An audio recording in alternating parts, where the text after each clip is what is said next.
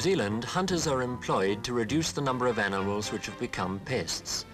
But there are still those who hunt to add beautiful specimens to their animal collections.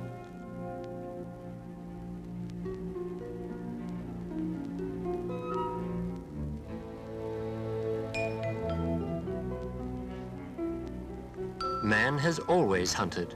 He drew pictures on the walls of caves to recall and record his encounters.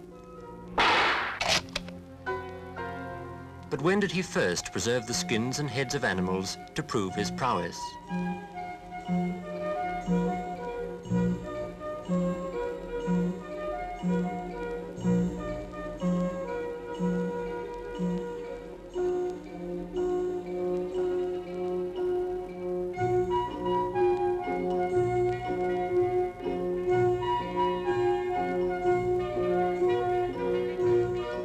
Specimens for museums and for proud anglers and hunters, and also for tourists wanting to take home with them proof of their good markmanship, keep Mr. Goodsvard and his staff constantly busy. He is one of the few taxidermists in this country. Stitch by stitch with painstaking skill, a new bird is fashioned to be poised on a branch in permanent defiance.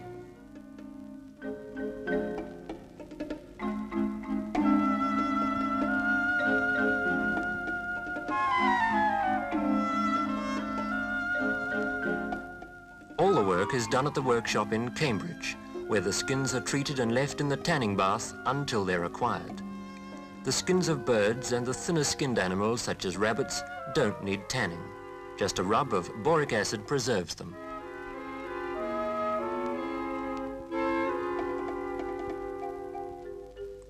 Deer heads are carefully modelled in fiberglass and onto them the antlers are fitted.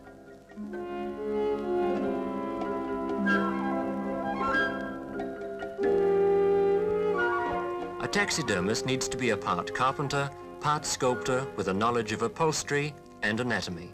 But above all, he must be an artist.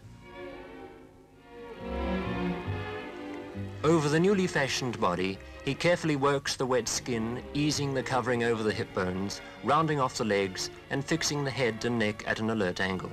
A complete and accurate replica of the original. It takes years of experience and hours of patience to reproduce the alertness and appearance of life and capture the grace and beauty of arrested movement.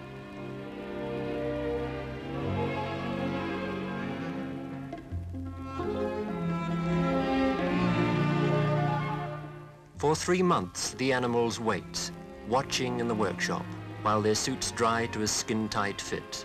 Then each will go out as a mute testimony to the skill of the hunter and the art of the taxidermist.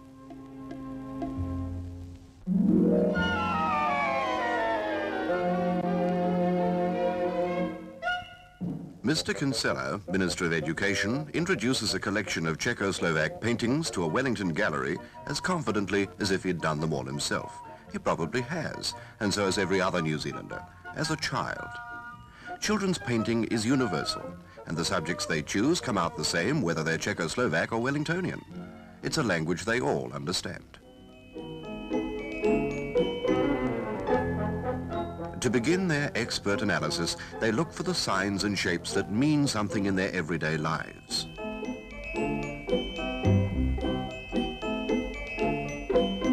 All cats look alike, and so do all horses.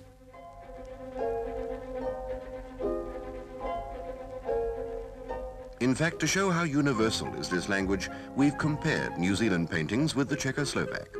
A New Zealand house and trees. Czechoslovak. Self-portrait New Zealand. Czechoslovak. New hmm. Zealand. New Zealand. Czechoslovak.